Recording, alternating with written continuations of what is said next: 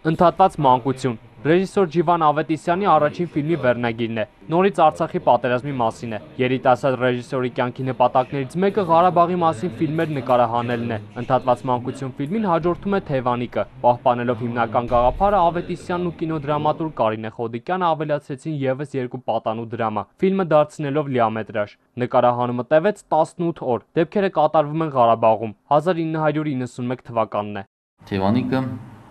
14 տարեկան մի տղայի մասին է, ով պատերազմական գործողությունների արդյունքում հայտնվելու է առաջին գծում։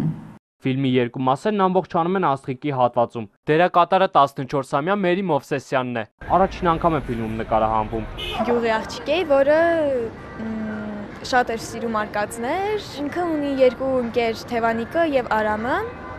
ու ինքը Թևանիկի եւ Արամի հետ ոնց որ գնում է պատերազմի դաշտ Ֆիլմի ստեղծման մեջ իր լուման ունի նաև ազգային կինոկենտրոնը։ 13 միլիոն դրամ է հատկացրել։ Տնօրեն Գևորգ Գևորգյանը մտավախություն ուներ եւ կարծում էր, որ ֆիլմի նկարահանումն ավարտին չի հասնի, սակայն տեսնելով երիտասարդ ռեժիսորի նախորդ աշխատանքը վստահությամբ է ներշնչվել։ Թևանիկն արդեն մոնտաժի փուլում է։ Դրա թրեյլերը ներկայացվել է նաև Կաննի կինոշուկայում եւ մեծ հավանության արժանացել։ Ղարաբաղյան թեմայով